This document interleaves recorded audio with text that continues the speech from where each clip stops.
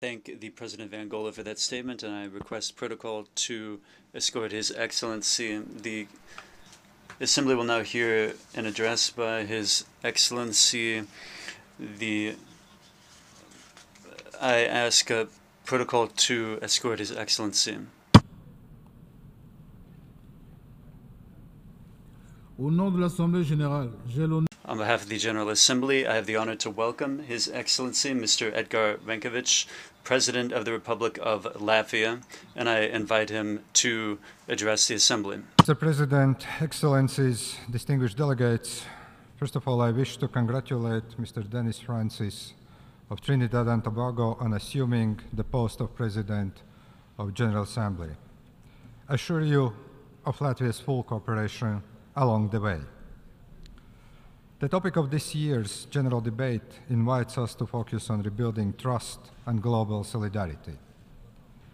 Rooted in the United Nations Charter, both concepts are crucial for effective multilateralism. Today, I would like to highlight the following points. We are at a transformative moment for the global order.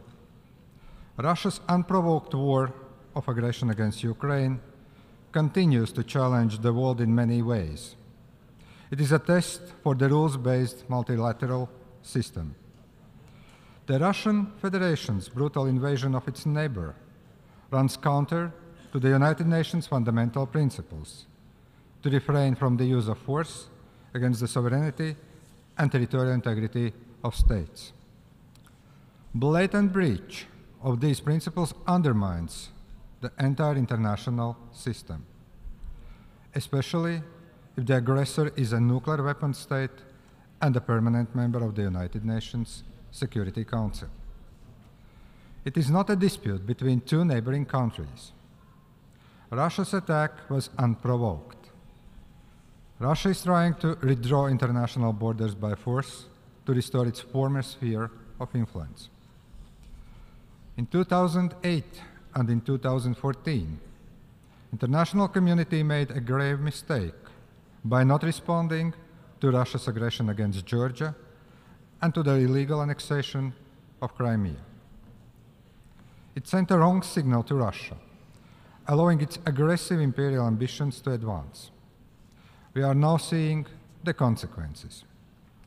Russia's invasion of Ukraine is a reminder of the struggle of a colonial empire to keep its territories. Ukraine is not Russia, never was, never will. Having experienced 50 years of Soviet occupation, Latvia knows the value of freedom and independence, like so many countries in the other regions. The international community must firmly stand together against Russia's attack on the principles and norms of the international law. Respect for the UN Charter is in the vital interest of all states. The outcome of this war will determine global security for years to come. Latvia condemns, in the strongest possible terms, Russia's ongoing aggression against Ukraine. Aggression that has been enabled by Lukashenko's regime in Belarus. We cannot talk about restoring international trust until Russia ends the war and withdraw from Ukraine. Russia must withdraw all its forces and military equipment from Ukraine within its internationally recognized borders. Russia must stop its terror and atrocity crimes. In response to those who call for ceasefire and peaceful dialogue, I wish to remind that only Ukraine can decide when to start negotiations about peace. Latvia supports Ukraine's peace formula. Sustainable peace must be based on Ukraine's sovereignty and territorial integrity. I call on all members of the United Nations to support those principles. Ukraine has shown remarkable determination in exercising its right to self defense against Russia's aggression. I urge international community to continue providing all necessary support to Ukraine and its people. Latvia will support Ukraine for as long as it takes. Our assistance to Ukraine has already exceeded 1.3% of Latvia's GDP. Together with private sector and civil society, we have sent humanitarian aid to Ukrainian regions. Latvia continues to give safe refuge to Ukrainian people. We provide rehabilitation to wounded Ukrainian soldiers and victims of sexual violence. Comprehensive support to Ukrainian people to rebuild their country will be required. It is important to lay the ground for the reconstruction of Ukraine already now. Distinguished delegates, even times of war, the rules of the international humanitarian law apply. The evidence of Russia's deliberate attacks on civilian population and infrastructure in Ukraine is mounting. Innocent civilians, including children, are killed. More than 11 million people have been forced to leave their homes. Forcible deportations and illegal adoptions of Ukrainian children to Russia are of serious concern. We call on the United Nations to take a more active stand on this issue. Latvia knows all too well the heavy toll deportations and repressions of the occupying regime have brought upon generations. Russia must bear full legal and financial responsibility for its aggression. We must ensure complete accountability for all crimes committed in Ukraine.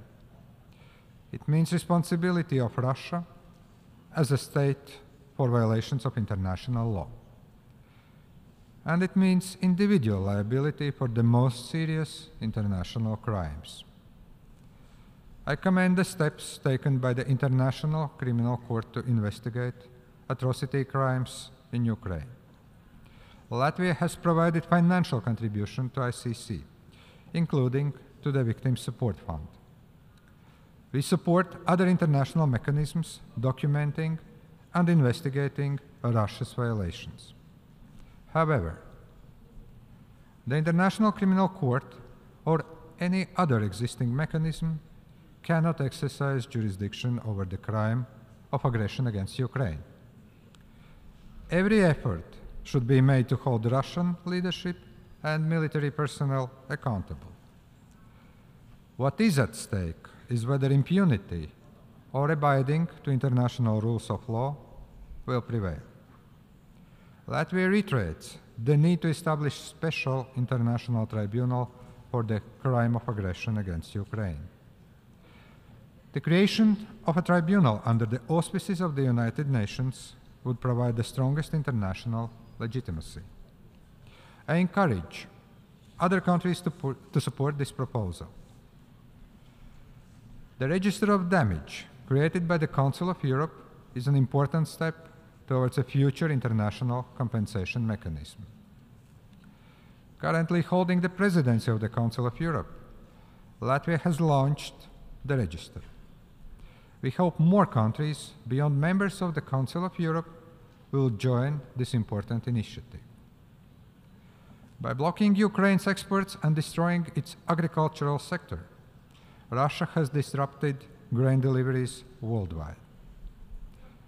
Yet it claims to care about global food security. There is no doubt that Russia is directly responsible for the suffering of the people worldwide.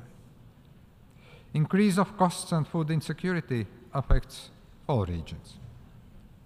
The Black Sea Grain Initiative was paramount for global food security. We condemn Russia's single-sided termination of this initiative. Food and energy are instruments in Russia's warfare, fueled by disinformation. Lies must be countered with truth and facts. Russia's invasion of Ukraine has caused shortage of food and fertilizer supplies. Those were not the sanctions. Sanctions do not block the export of mineral fertilizers and grain from Russia. The truth is that Russia is benefiting from higher prices. Access to food is a human right, and hunger must never be used as a political tool. International efforts to facilitate Ukrainian experts for global food security must continue. Latvia cooperates with the World Food Programme to improve food security worldwide. I urge the United Nations to resolve the removal of the remaining Russian owned fertilizers from the territory of Latvia so they can be delivered to the countries in need as soon as possible. The UN system must respond more effectively to humanitarian needs. Mr. President, the concept of solidarity has defined the work of the United Nations since the birth of the organization. The Sustainable Development Goals Summit, held two days ago, reaffirmed the importance of dialogue, cooperation, and solidarity. At the same time, the summit acknowledged stark reality.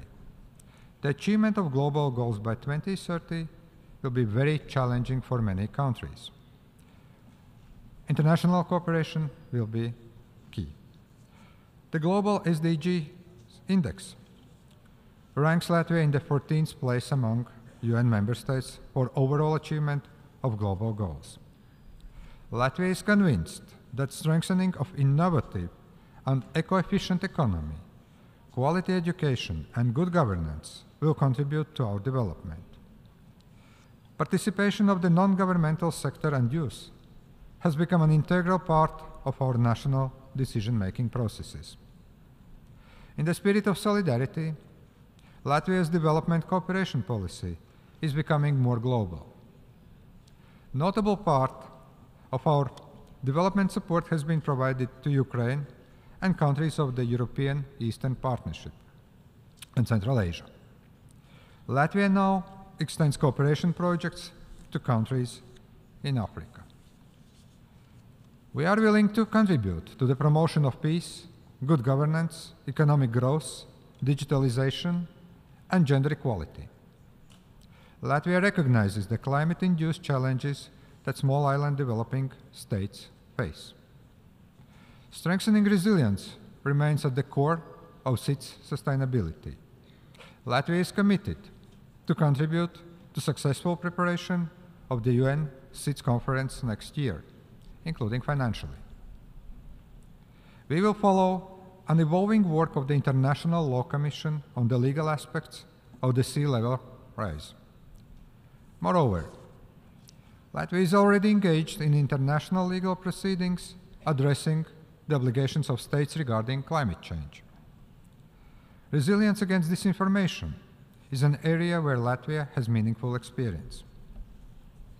We must address accountability of the actors in the information environment also at the global level.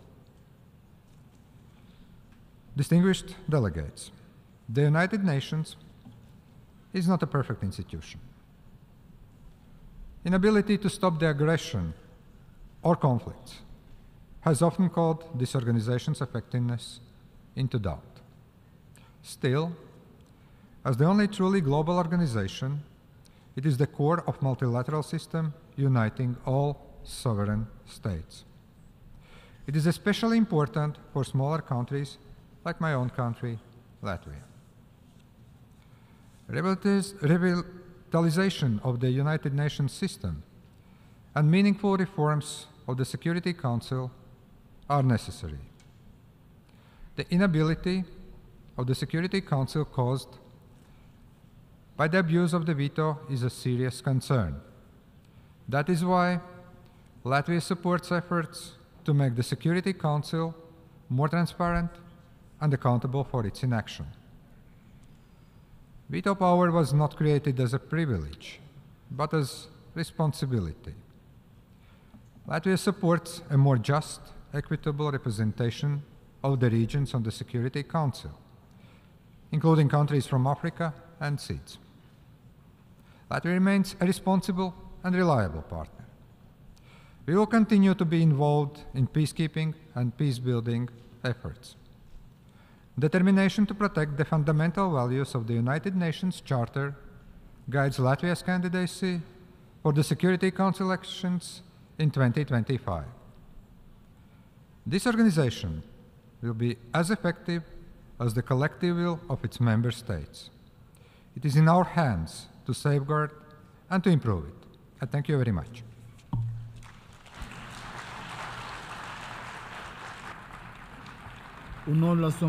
On behalf of the General Assembly, I wish to thank the President of the Republic of Latvia for the statement just made, and I request protocol to escort His Excellency.